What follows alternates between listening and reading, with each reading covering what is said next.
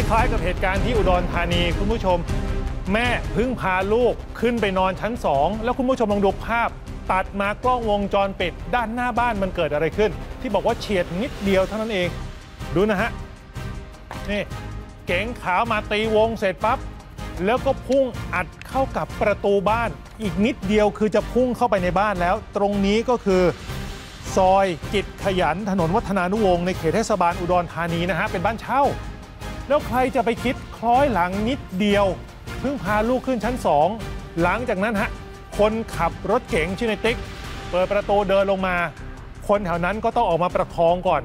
คือต้องถามว่าในติ๊กเป็นอะไรหรือเปล่า แต่ลักษณะคือกลิ่นเหล้านี่คลุ้งเลย แล้วก็โซซัสโซเซ หลังจากนั้นทุกคนก็ออกมามุงดู เข้าไปดูในบ้านว่ามีใครเป็นอะไรไหมอ่านี่ดูคลิปตรงนี้นะฮะ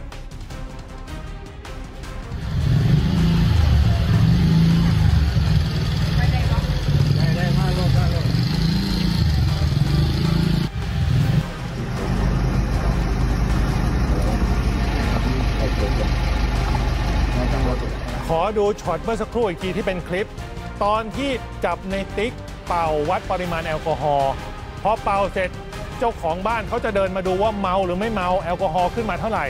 ดูพี่ตำรวจนะฮะนี่เอามือกันไม่ให้ดู คนแถวนั้นก็เลยไม่รู้อ้าวทำไมอะเออคือเขามีสิทธิ์ดูไหมบ้านเขาพังเสียหายเนี่ย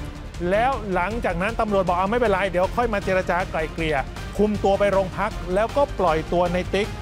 กลับบ้านไปเลย แล้วจนถึงขณะนี้เจ้าของบ้านบอกยังติดต่อไม่ได้ อ้าวแล้วตำรวจปล่อยไปได้ยังไง เมาหรือเปล่า เป่าแอลกอฮอล์เท่าไหร่ก็ไม่ให้ดู คุณผู้ชมเราได้คุยกับคุณมินตราชัยวุฒิเป็นหนึ่งในผู้เสียหาย แล้วเขาบอกเลยนะฮะคาใจคาใจกับการทำหน้าที่ของตำรวจนี่เธอพาชี้ให้ดู โอ้โห หน้าบ้านเละเทะไปหมดเลย แล้วมอเตอร์ไซค์ที่จอดข้างหน้าไม่เหลือ คุณมิตราบอกว่า ตอนที่ตำรวจมาเนี่ยนะ ห้ามพวกหนูไลฟ์สด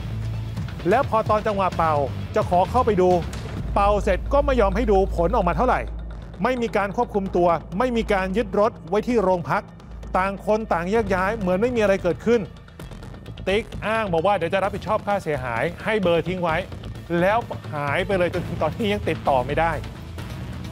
หนูนอนอยู่ค่ะแล้วทีนี้ได้ยินเสียงดังตุ้มหนูก็เลยรีบวิ่งมาดูค่ะ เห็นอะไรบ้าง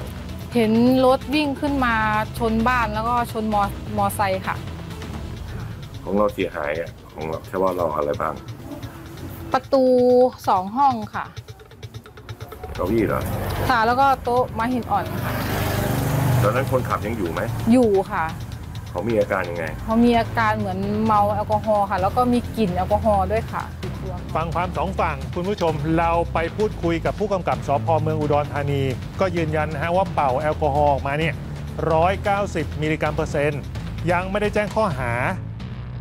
เรื่องขับรถขณะมึนเมาเป็นเหตุให้ทรัพย์สินเสียหายแล้วก็ปล่อยตัวไปเนี่ยเพื่อที่ว่าต้องการให้เอาข้อหาเนี้ย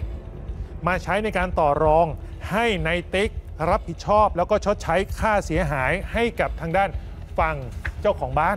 ถ้าแจ้งข้อหาไปก่อนส่งตัวดำเนินคดีฟ้องศาลเนี่ยเดี๋ยวกว่ากระบวนการจะเสร็จ เรื่องการชดใช้เยียวยาค่าเสียหายมันก็จะยืดออกไป อันนี้มันเป็นเหมือนกับเขาเรียกว่าเทคนิคการทำงานของตำรวจ แต่บางทีไม่ได้พูดคุย ไม่ได้อธิบายให้เจ้าของบ้านที่ก็เป็นผู้เสียหายเขาฟังเขาก็คาใจ